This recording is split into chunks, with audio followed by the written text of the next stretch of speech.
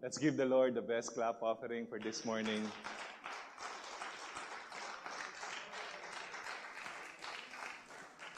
Parang uh, naninilaw kayo lahat ngayon. Mayroon ba may birthday?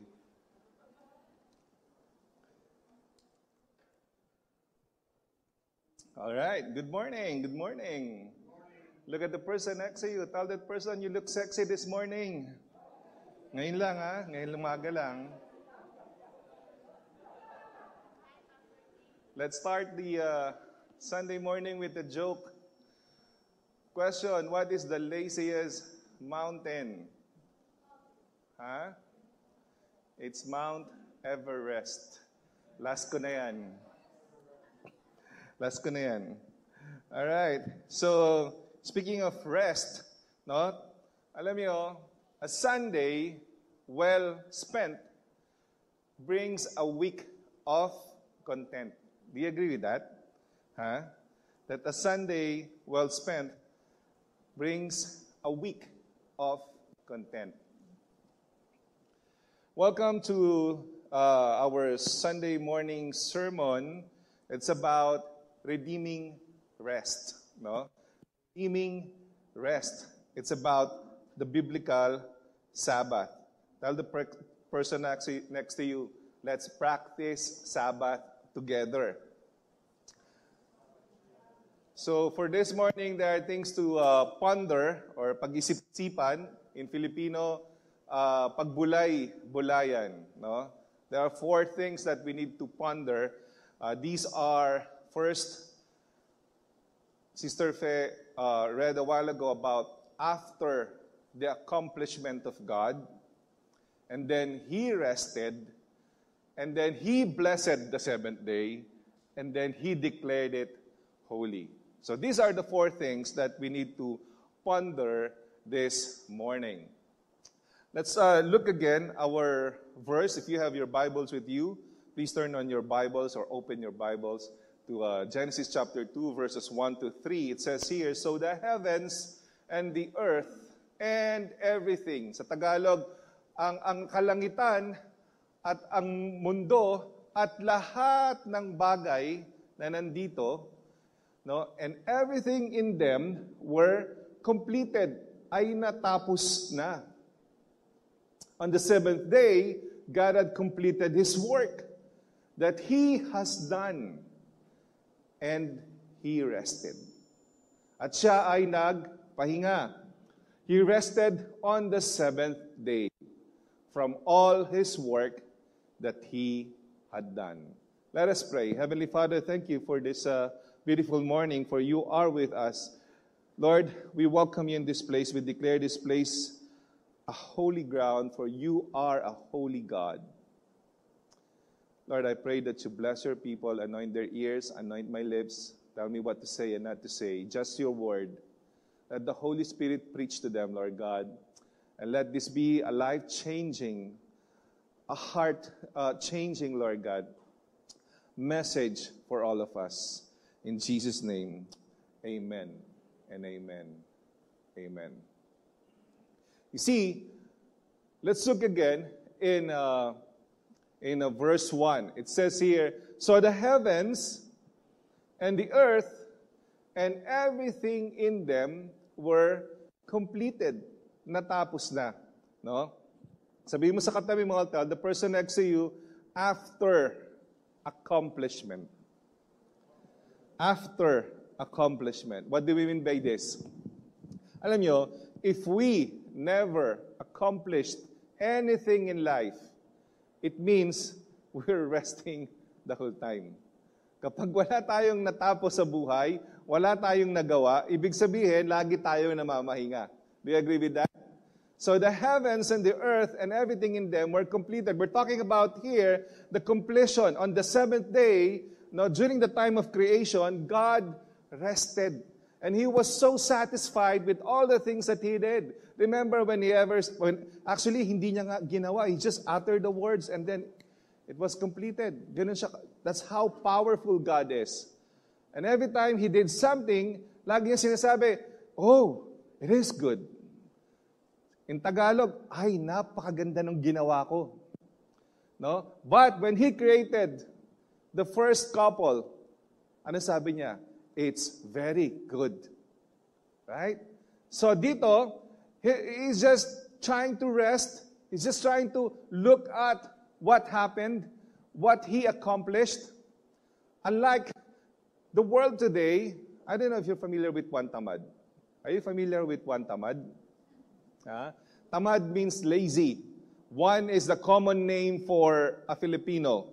It's like here in the US, it's John Doe, right? Or Jane Doe. But in the Philippines, when you call a person, generally it's Juan de la Cruz. But one is uh, associated with tamad or laziness. You see, Juan Tamad is a character in Philippine folklore known for his laziness. Kilala siya sa pagiging tamad. Many stories portray his laziness to extreme stupidity and comedy. The most famous tale is one of where he chances upon a guava tree laden with a ripened fruit. The most famous no, na story ni Juan Tamad ay yung hinog na bayabas kung saan he was just waiting for the ripened guava, guava fruit to what? To fall into his mouth.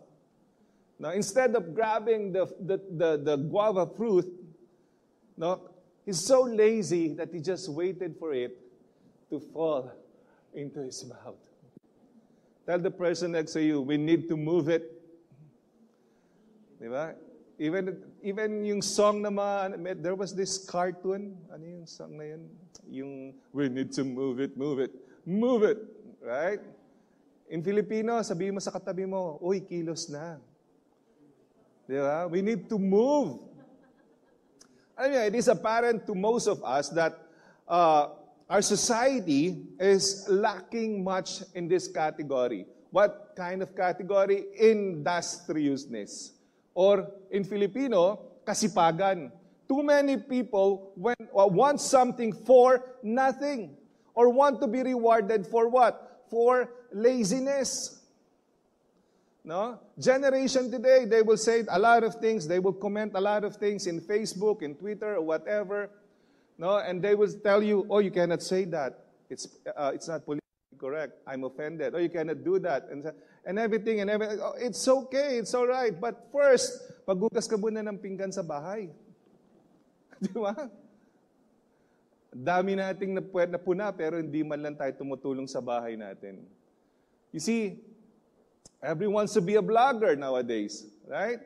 Do you know that being a vlogger, being a successful vlogger, you need industriousness. Kailangan mo ng kasipagan. For you to be successful, there's a lot of hours of editing, there's a lot of uh, uh, thinking of content, going to places for you to be a successful one. But a lot of people just want to force you to subscribe to them kasi they just want to get the money from Google AdSense. Right?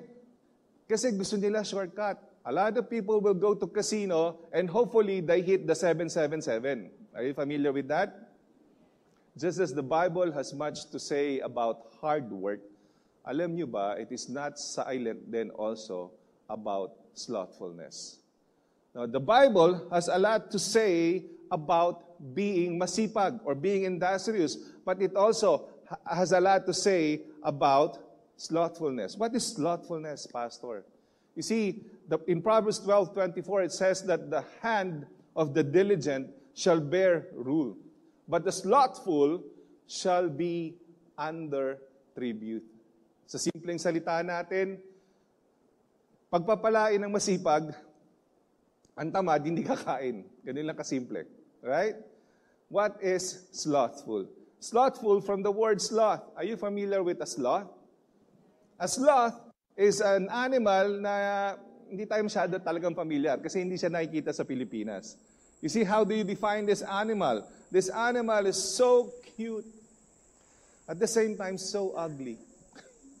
this animal is so, uh, so, uh, kumbaga, parang, alam yung teddy bear, yung parang huggable, lovable, at the same time, scary. Kasi may mga claws siya. This animal is so slow, no, and parang lagi siyang inaantok. Parang laging gustong matulog. Na parang lagi mo siyang inehele. Di ba? Cute, pero parang ugly. Mabagal, tinatamad, pero parang, you know, ang hirap niyang mahalin, pero nakakainis naman kasama. Uh, parang, alam yan, parang nakakainis siyang paalisin, pero nakakaawa naman na hindi tulungan. E ba parang 40-year-old na nakatira pa rin sa magulang, di ba? di ba? It's the same thing. You see, here's the thing. Slothfulness, ang ibig sabihin, pagiging tamad. Slothfulness is a sin. Sabi ng Biblia, ang pagiging tamad ay kasalanan. People notice when others are hard workers. Madaling mapansin ng iba na kapag ikaw ay masipag. And they also notice when people are lazy. Even though you tell all the people now in the world that you are a very industrious person, even though you tweet it every second, that you are an industrious person. Even though you show a lot of pictures that you are an industrious person, oh, I'm busy today, I'm doing a lot of things. But if you don't have result in life, I tell you, wala kang pinagkaiba kay Juan Tamad. Right? You see, life is all about result.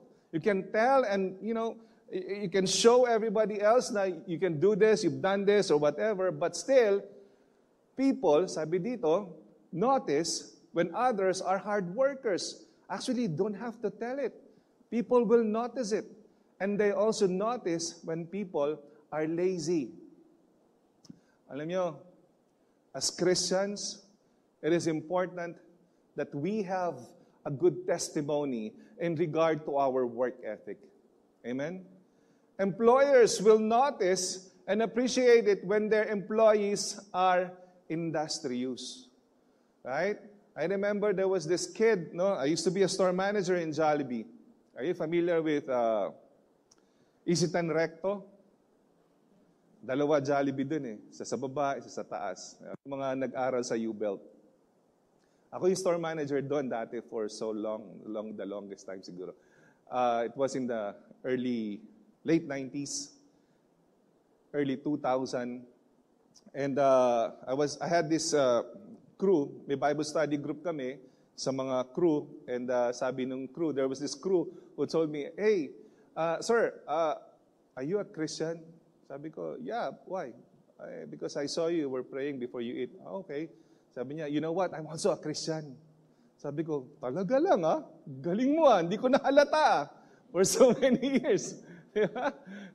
know, I didn't even, I didn't, it, it didn't even show. No? Sabi mo sa katabi mo, wag mong tularan si Juan. Do not emulate one tamad or one the lazy person. Why? No? Why? Because slothfulness is a sin.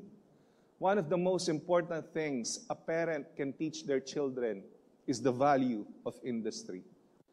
If we have not trained our children to labor, we have not prepared them for life. That is the truth. Amen? You see, we need to retell the story of Juan Tamad. I'm so saddened that Juan Tamad is being hailed as the heroic, comedic person. Right? If Juan Tamad will be made into a movie, di ba? Ang bida dyan, sina Aga Mula, yung mga sikat na tao, right? Tapos Juan Tamad as in the hero. Come on, let's retell the story. Being tamad is a sin.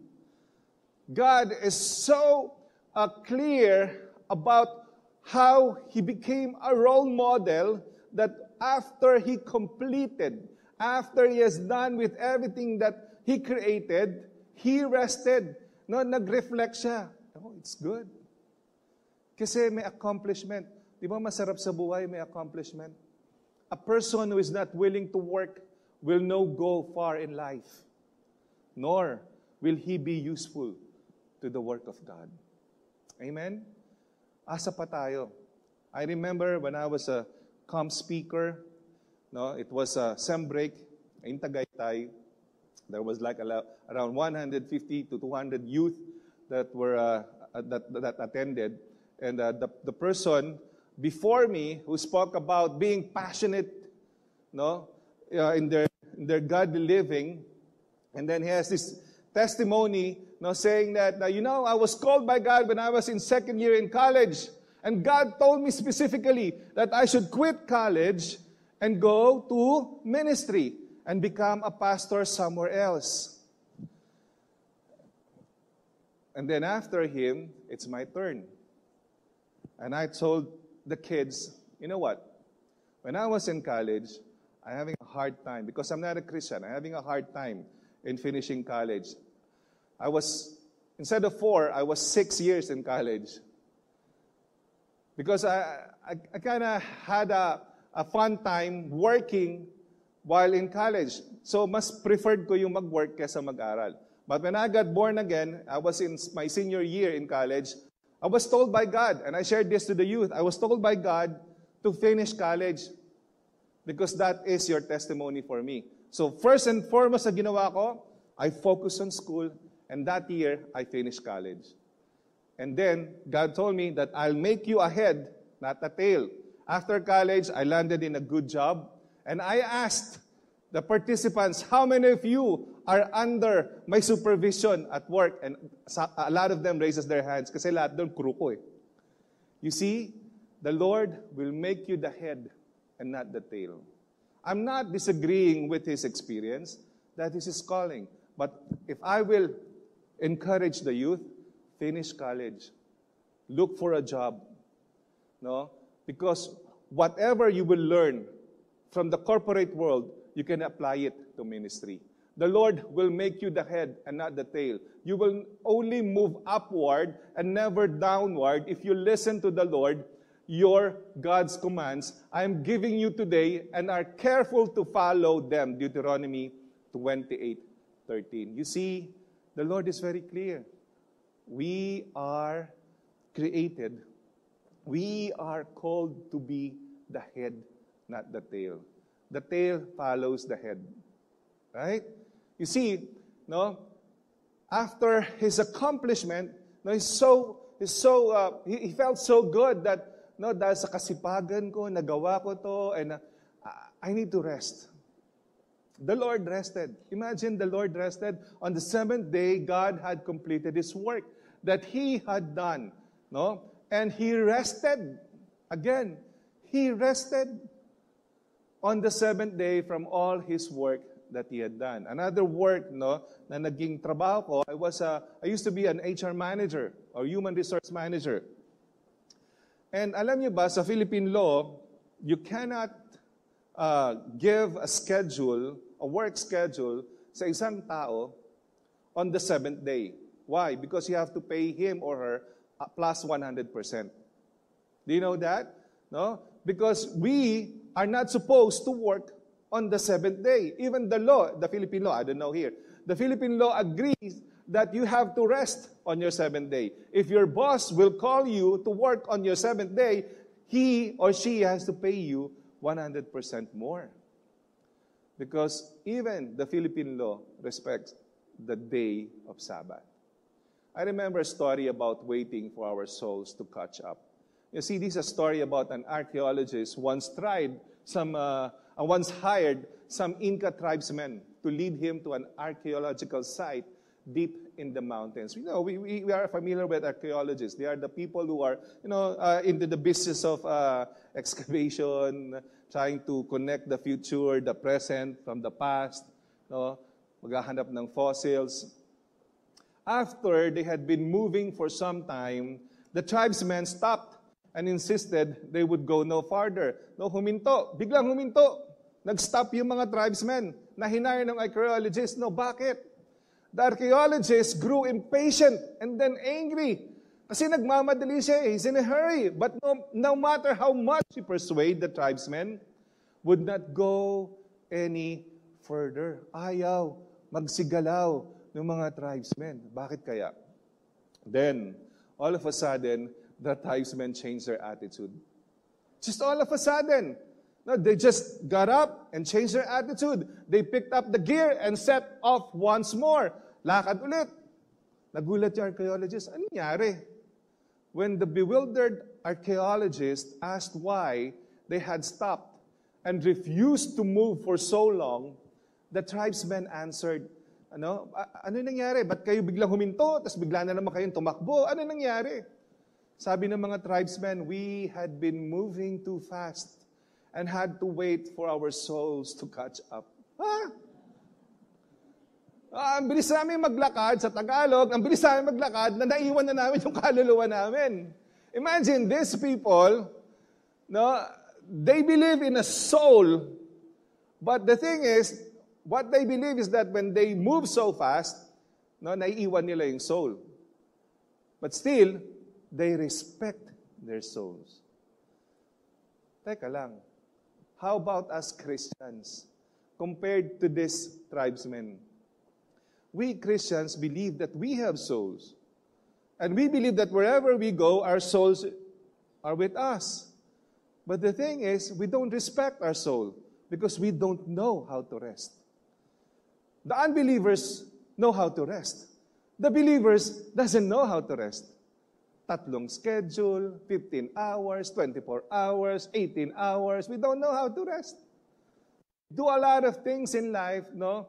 to, to make sure that we are in this rat race. You see, there are different types of rest. One, physical rest. Obviously, you rest physically. There's two kinds of physical rest active and passive. Let's start with active. Active rest is that you are tired. Now, these, these guys are, these are Aguila's uh, ministry every Saturday. These people, they're tired for the entire week. But they always look forward on a Saturday. Why? Because they love to play basketball. No? They will go here in second floor sa gym natin. They will play ball. And playing basketball is a full contact sports. Nako, napakahirap, nakakapagod. Pero why are they doing it? They, aren't they supposed to rest? No, because they find rest. Active physical rest. No? na-enjoy nila yon. That is part of resting. Another kind of rest is being passive. No? Obviously, this is being associated with sleeping. Sleeping like a baby. Di ba? Sarap matulog, lalo na pag malamig. Right? So, another thing is mental rest, or they call the brain fog. Now, some people who work like for the entire week using their hands, their feet, on their, on their toes, uh, standing up, or, you know, physically they are working as in, tiring. No? Some of them, they just want to rest sa Santa Monica Beach and read their Kindle or read their books. But for people who are arts and letter people who are, you know, into, who, who, who are studying the entire week, or people who are like, you know, managerial or supervisory, or people who are like into uh, just like pastors who are you know, need to do a lot of research and do a lot of uh, reading. No, so for me, I don't enjoy. Before I used to enjoy this kind of mental mental rest or brain fog, but for me, sa trabaho ko ngayon, I have a different brain fog. No, I do other things that will make me happy and will give me mental rest. Now, this is what I do to, to achieve that brain fog or mental rest. I ride my bike. You see, He wants you to rest because He wants to use you. Amen? Do you agree with that? God wants you to rest because He wants to use you. Imagine a boss who wants profit in life, right? who wants money in life, that boss doesn't want you to rest. Gusto niya magtrabaho ka na magtrabaho para magpasok ka ng pera sa kumpanya niya. But your boss in heaven, he wants you to rest because he wants to use you. Using you for you to say, Yes, Lord, use me mightily. Yes, Lord, I'm here for you. You see, number three, he blessed the seventh day. Tell the person next to you, He blessed the seventh day. Now, in verse 3, it says, God blessed the seventh day and declared it holy, for on it he rested from all his work of creation. What do we mean by blessed the seventh day? He wants you to rest because He wants to bless you. Hindi ka lang niya gustong gamitin kasi gusto ka rin niyang i-bless. Diba? Tell the person next to you, God wants to bless you. Di ba? Sabihin mo rin sa kanya, kaya magpahinga ka. Right? So take a rest. If you no, will take a rest, here are the blessings that you will receive from God. Take a physical rest, He will restore your strength. He will give you long life because you will live a healthy life. If you take a mental rest, you will be more useful. If you take a sensory rest, no, you'll be more sharp and you can be useful to God. You can, if you will rest your being creative, your creativity, you'll be more productive. Imagine if you will rest emotionally. You will be an example to a lot of people. What do we mean by this? Imagine, you approach me, Pastor, I'm having a hard time in this life. I just wanna, I just wanna have a counseling session with you. Tapos sasagot ako, and I will answer you, Sige, on Wednesday, let's see each other. Right? So emotional rest, I'm not an example, right? Because how can you go to a pastor who will, you will ask for counseling, pero siya mismo having a hard time emotionally. So you need to have an emotional rest. It's very important. Rest socially so that you'll be a good testimony. No? A lot of people will rant in their Facebook page or Twitter or Instagram. Do you know why they rant? because they don't know how to rest. No, doon nila binubuhos yung galit nila sa mundo. Yung galit nila kay Trump, yung galit nila kay Duterte, yung galit nila kay Biden, yung galit nila kay Pacquiao. I mean, they will use social media because they don't know how to rest socially. So, rest socially so that you'll be a good testimony. Another blessing that you'll get from God is that you rest spiritually because He wants to cultivate His relationship with you. He wants to, you to grow no, in relating to Him so that you'll grow spiritually. Number four, as we end, the Lord says, He declared it holy. Ano yung dineclare niyang holy? God blessed the seventh day and declared it holy. For on it he rested from all his work of creation. He declared it holy. Paano yun? Here's the thing we always forgot we're serving a holy God. Right? This is the always, this is the, this is the, this is something that we always forget. We're serving a holy God. We forget the holiness of God. We created God in our own image and likeness. But the Bible is saying that God created you and I in according to his image and likeness. But the thing, this world keeps on telling that let's just create our God in our own image and likeness. We created the Jesus that will agree to us. We created a Jesus that will agree to us. Diyan ka muna, sabitan na lang kita ng sampagita, and then I'll be back. Because you are my God in accordance to my whatever comfort or you know when, whenever I need you, I'll, I'll be there. I'll be there with you. We created a Jesus that will agree to us that adultery is okay. We created a Jesus that, uh, that, that, hey, Lord, remember, it's in the Bible, si Robin Hood, magnanakaw. So kukuha muna ako sa government, I'll get things from, uh, from my office, I'll get things from the petty cash fund of our office, and then, anyway, I'll donate it to the poor, Lord. We created a kind of Jesus that will agree to whatever is okay with us. Right? Lord, okay naman yan eh. Christian naman, Lord, di ba? Christian pangalan niya, Christian Gonzales. We created a Jesus that will agree to us. We forget that we're serving a holy God. The Bible says, Holy Holy, holy is the Lord God Almighty who was and is and is to come. Right? Holy, holy. Ho- Bakit di pa sinabing holiest? The thing is, in Hebrew words, there are only 8,700 words. So limited. They don't have a superlative.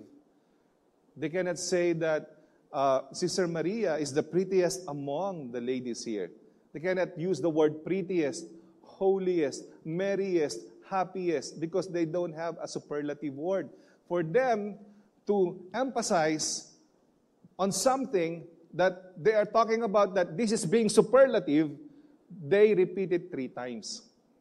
So when they say, no, Sister Vita, you're pretty, pretty, pretty. Ibig sabihin nun, ikaw pinakamaganda.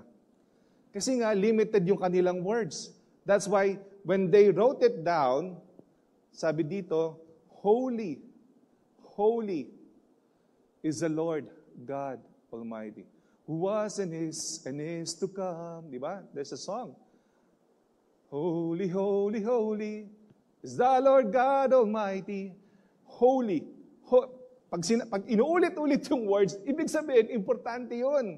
Because God is saying that, come on, I am holy.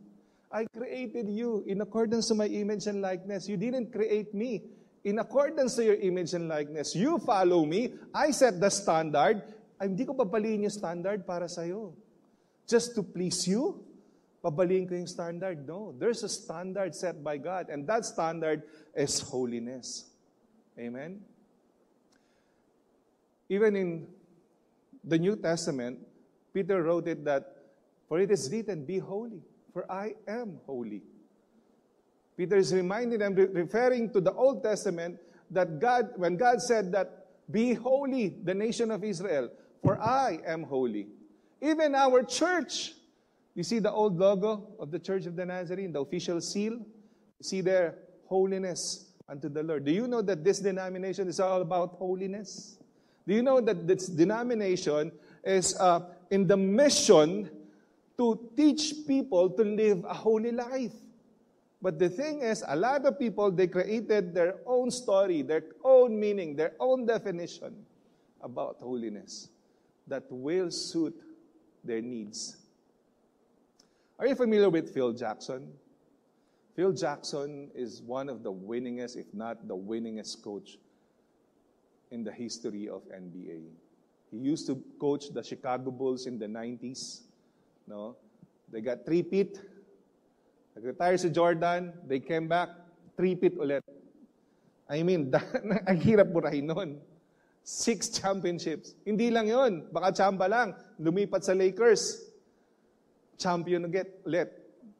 Mapapatanong ka, now, you'll be, you'll be like, what is the secret of Phil Jackson? Right? Have you ever asked, what is the secret of Phil Jackson? Ngayon, hindi na secret, sasabihin ko na. You see his hands? It means triangle offense. No? Whenever his players are being confused, he just showed his hands. It means triangle offense. What do you mean by triangle offense? Triangle offense in basketball is forming a triangle.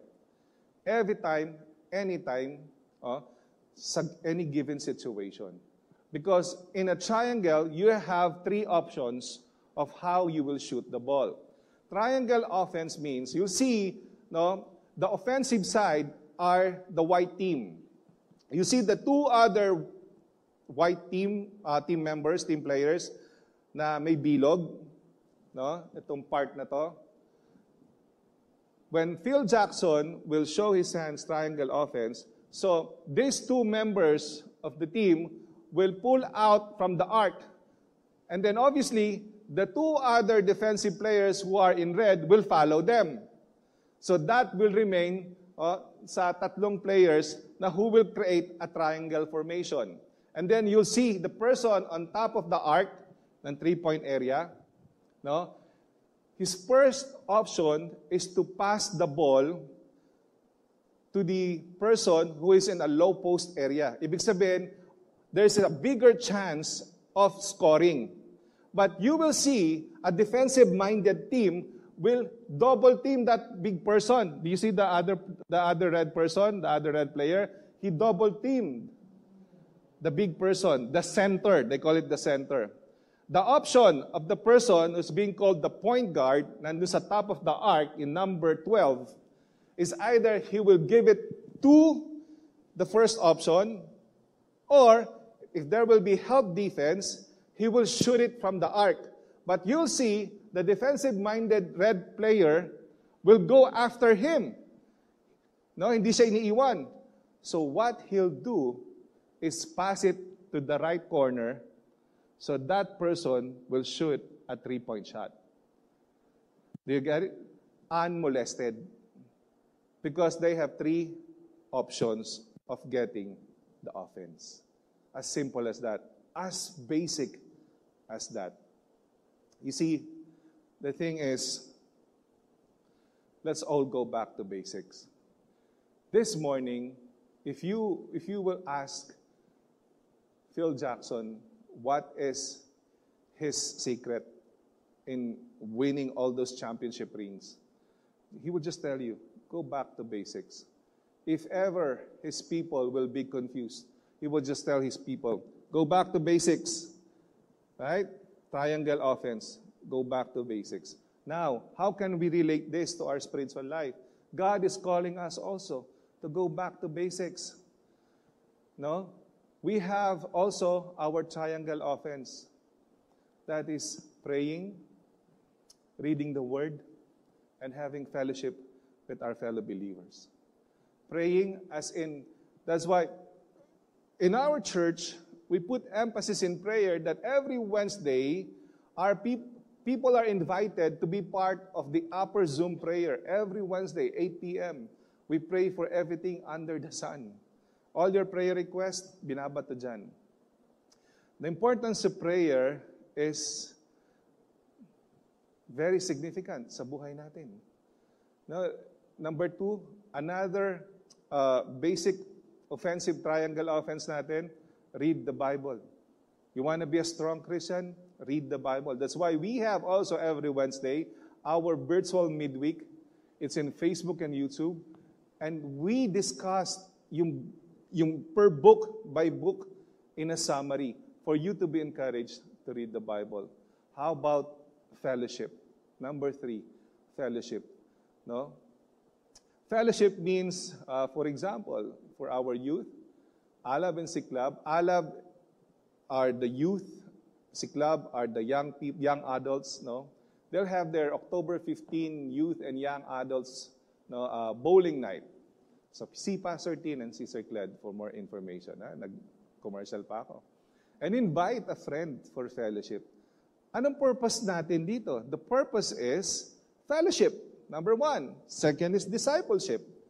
To disciple young people. And number three, no, to invite them to a relationship with Christ. So, hindi para magpadami, pero para magpadami ng kalidad ng buhay ng tao. Amen? No? Another kind of fellowship. We will have a family day. A bowling family day. Bowling din to. But this will be on November. Boys versus girls. No? So, magandang laban to. So uh, this will be uh, sponsored by the Busilak and Dakila Ministry, the, the men and women ministry. So 1 to 3 p.m. after church. So these are kind of uh, fellowship. How about courtyard fellowship? Now, the thing is, if we don't, we don't have fellowship, there will be no discipleship. Right? Imagine if we will just meet here and then after the service say, hi, bye, goodbye, So we, para, wala tayong pinagkaiba doon sa isang homeowners association na nag-meeting. Buti pa sila magkakilala. Right? So, fellowship. Another kind of fellowship is Bible study fellowship. Uh, there's a lot of fellowship. Uh, summer camp fellowship. But one of the most important, basic fellowship. If God is calling us to go to basics, that would be, if, if there would be a triangle offense assigned from, uh, uh, from uh, Phil Jackson, dapat may sign din tayo sa Christian. Yung sign natin is to, to remind the person next to you, that person take four. No? What do we mean by take four? Take four Sundays in a month. No? Paki-sign nga, take four. Yan. Okay, may sekreto, may sekreto ako sasabihin sa inyo ha. Atin natin lang to. Basic yan. When I was a HR manager, sabi ng, ng, ng empleyado namin, Sir, I should have a certificate, a medal, something, a gift. Because no absences, no lates for a month. In fact, for a year. Why would I give you an appreciation for that? Isn't that basic? when I hired you, when I hired you, will I, will I ask you na, oh, can you please don't, uh, don't, don't be absent and don't be late? Diba? When I ask you, when I hired you, no, ano yung common na tanong? Are you, are you always, uh, are, are you into absences? Are you into tardiness? Oh, no, I don't. Basic. I'm always here. And now, if you do the basic, you're asking for an appreciation. You see, a lot of people, no, for them, going to church in one, one, once a month or three times a year, that would be their basics. But here's the thing the surprising benefits of going to church are the four Sundays of glory. When I became a Christian, I never realized the importance of going to church and having fellowship with my fellow believers. Because when I decided to never be absent in the church, I witnessed salvation. Not just for me, but to a lot of people. I witnessed healing. Not just for me, but to a lot of people. I witnessed miracles. Imagine mo, mag-asawa, naghiwalay, nagkakabalikan pa. Imagine mo, babae hindi nagkakaanak, nagkaanak. I mean, those are miracles. I, I saw breakthrough in life. Drug addict, naging pastor. I mean, I saw glory after glory after glory every Sunday. If I was not there, I won't witness it. Now, if you will not be here every Sunday, you will not witness the salvations, the healings, the miracles, and breakthrough. Ang masakit pa doon, baka para sa iyo yung salvation, baka para sa asawa mo yung salvation, baka para sa anak mo yung salvation, baka para sa kapatid mo yung healing, para sa kapatid mo yung miracles, para sa nanay mo yung breakthrough. These are for all of us, the four Sundays of glory. Kaya if Phil Jackson has a triangle offense, we must have take four. Again, Tell the person next to you, take four. Pakibulangan. Basic ha. Huwag ka nga absent. Okay?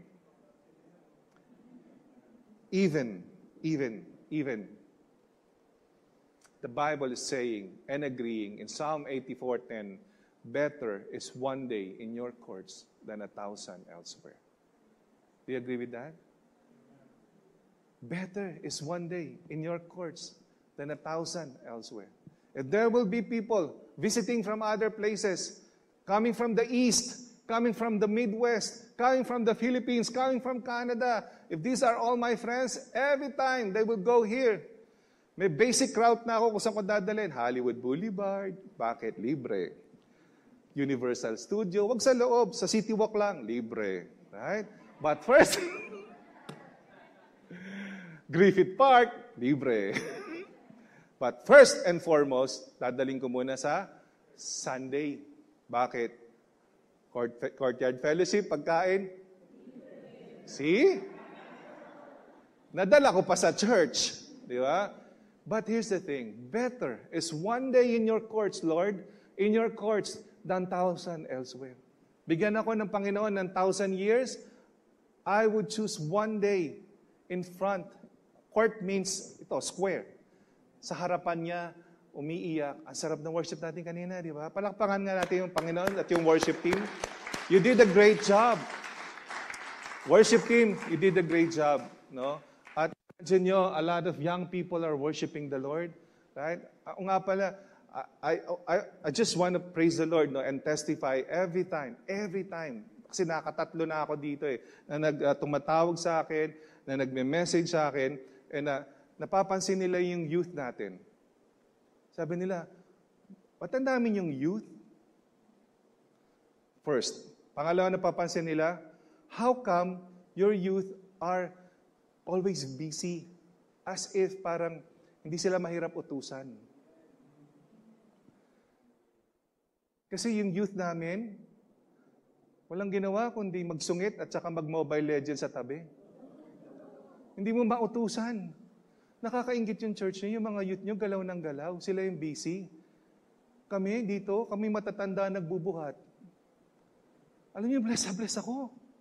Honestly, Blessed na blessed ako sa youth natin. Honestly. You know what? Anong sekreto nila? Sabihin ko sa inyo, atin natin lang ha. Atin natin lang. Ang youth natin, alam ang take four. Right? Ang youth natin, every Sunday, nandito. Honestly, nandito sila. Every Sunday, alam nila ang take four. Because they saw miracles, they saw blessings, they saw salvations, they saw breakthrough. Ba't ka aalis? Right? Thousand, thousand days, thousand years elsewhere? Better is one day in your court, Lord. Amen? Why go to church? Why go to church? Bakit tayo kailangan mamahinga? Ang Panginoon na mahinga after His accomplishment. The Lord is encouraging us, hey, be industrious, magsipag ka, accomplish something so that you are worthy to rest. And then the Lord rested. Why we don't rest? Ba't hindi tayo mamamahinga? What is the reason? Ba't hindi tayo mamamahinga? Number three, He blessed the seventh day. It means that God wants to bless you. God wants to use you. He declared it holy. No, He's just reminding us that He's a holy God. Don't create another God. I am the only one God, and my first characteristic is holiness. So please don't create another Jesus aside from me. He declared it holy because He wants you to be holy. I encourage you this morning that let us redeem the important meaning of rest. Amen. The Bible says in Matthew 11, 25, 30, as we end, Come to me, all you who are labor and are burdened, and I will give you rest.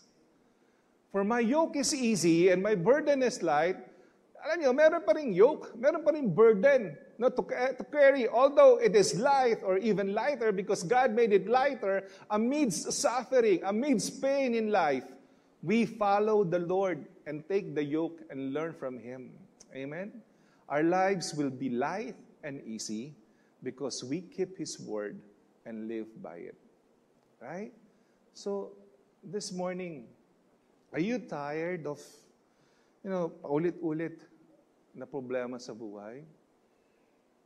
Sabihin ko yung solusyon. Mamahinga ka sa presensya ng Panginoon. In English, rest in the presence of God. No? Simula ka sa basics. Take four. Take four. And you'll see if, okay, here's the thing. Take four, don't be absent. Sunday after, Sunday after Sunday, be here. Kapag walang nabago sa buhay mo, ihin mo ako. Okay, I'll give you $100. Pero pag nabago ang buhay mo, you give me $200. You see, nobody else can save you today. Trust Jesus, right? Let us all bow our heads, close our eyes. Let's pray. How do we trust Jesus? Let's admit that we are a sinner. Let's be willing to turn from our sin. Let us repent to God. Let us believe that Jesus died for us and buried and rose from the dead. Let's invite Jesus into our hearts to be our Lord and Savior. Heavenly Father, we thank you, Lord, for reminding us that we need to rest. We need to accomplish something. So enable for us to rest. And resting, uh, you, we, we, we need to emulate you in terms of resting. We, we, you want us to be blessed. You want us to use us mightily. Lord, thank you for you declared our rest day as a holiday. From the word holiday, where we become so merry and you know we, we do a lot of fun things but the real holiday is holy day because you declared it holy because you are a holy god and we don't need to create another god who is suitable to our needs. Lord we ask lord god and repent. We are a sinner and we need forgiveness. Lord we believe that jesus shed his precious blood and died for our sins. Lord, I'm willing to turn from my sins, and I now invite you, Christ, to come into my life as my personal Lord and Savior. In Jesus' mighty name we pray. Amen and amen. Let's give.